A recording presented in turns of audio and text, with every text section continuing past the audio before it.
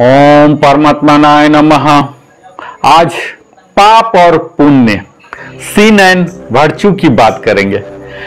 कोई हमारा अपकार करता है तो उससे वस्तुतः हमारा उपकार ही होता है। क्योंकि उसके अपकार से हमारे पाप कटते हैं। दूसरों की बुराई करने से तो पाप लगता ही है। बुराई सुनने और कहने से भी पाप लगता है।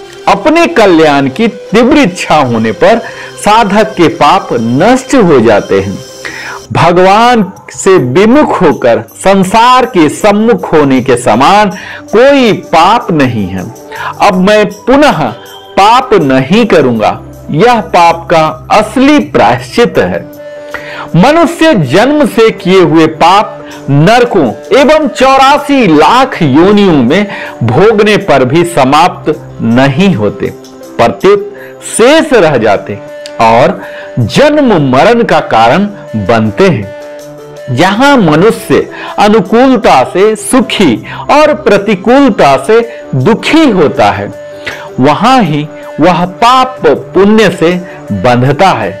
नासवान को महत्व देना ही बंधन है। इसी से सब पाप पैदा होते हैं।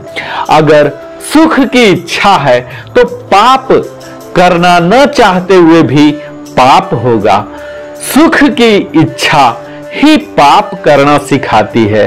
अतः पापों से छूटना हो तो सुख की इच्छा का त्याग हमें करना पड़ेगा। जहाँ दूसरों का दुख देने की और अपना मतलब सिद्ध करने की नियत होती है, वहीं पाप लगता है और बंधन होता है। छिपाने से पाप और पुण्य दोनों विशेष फल देने वाले जाते हैं।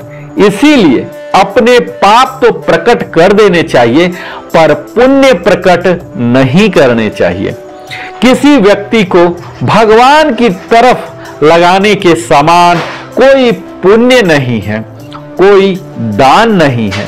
मुझे सुख मिल जाए, यह सब पापों की जड़ है। पहले पाप कर लें, पीछे प्राश्चित कर लेंगे। इस प्रकार जान बूझकर किए गए पाप प्राश्चित से नष्ट नहीं होते हैं।